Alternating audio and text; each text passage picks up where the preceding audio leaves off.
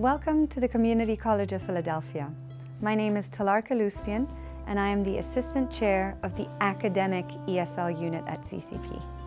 My name is Gretchen Spencer. I'm the Manager of Adult and Community Education in the ESL Institute. In this video, we want to show you our two ESL program options at CCP. I will present the academic ESL side and I will present the everyday English side.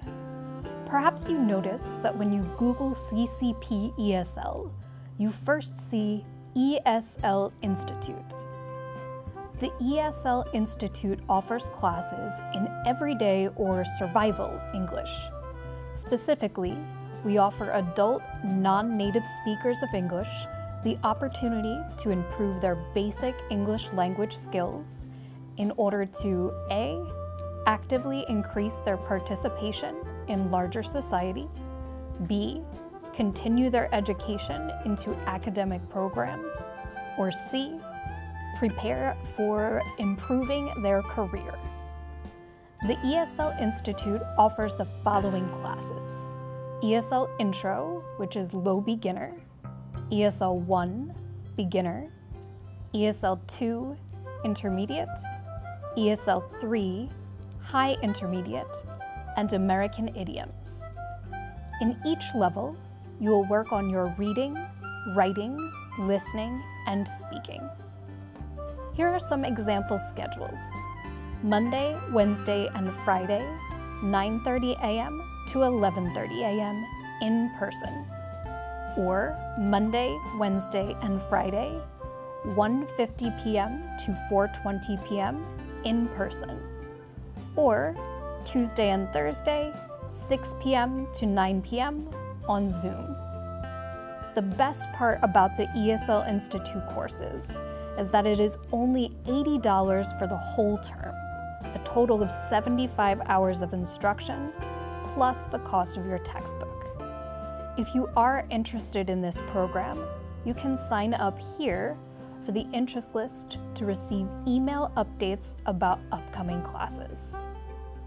If you decide to take Institute classes, you have to take the special placement exam for the Institute. This is different from the placement exam for the academic ESL courses. Thanks, Gretchen.